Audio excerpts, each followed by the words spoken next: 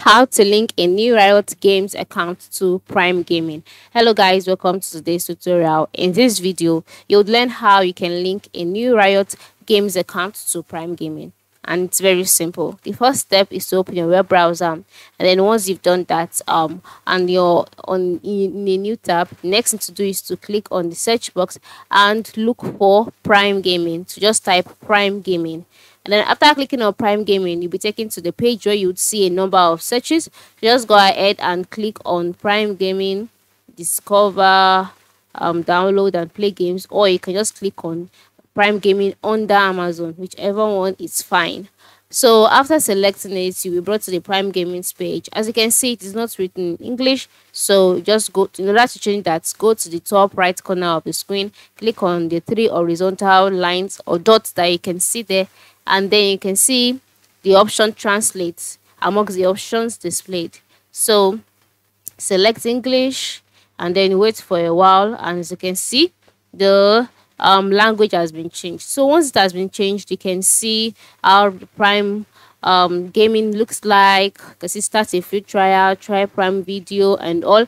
So all you need to do now is to scroll down and then check out a game that is related to your um to your account that it is related to your Riot game account. So we have a variety of games such as Valorant, such as um Legend of the of the League, Leagues of the Legends, sorry. So you can just check through the games displayed here and see if you can find any that if you can find any that you that belongs to Riot games.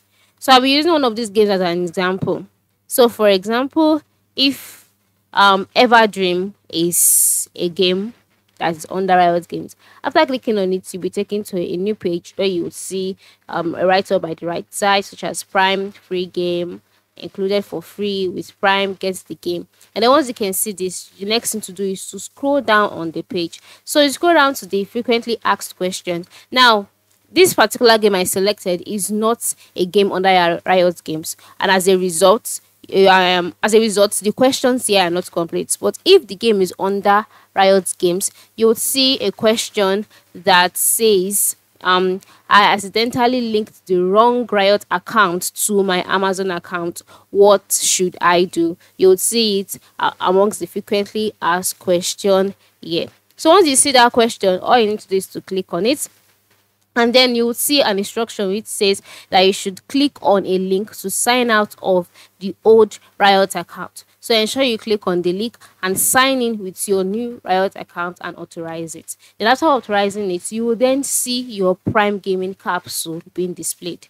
All right so just click on it click on claim and then you claim your prime gaming ca capsule and your new riot account will now be linked to prime gaming so that is it. So have a good day and enjoy uh, your gaming experience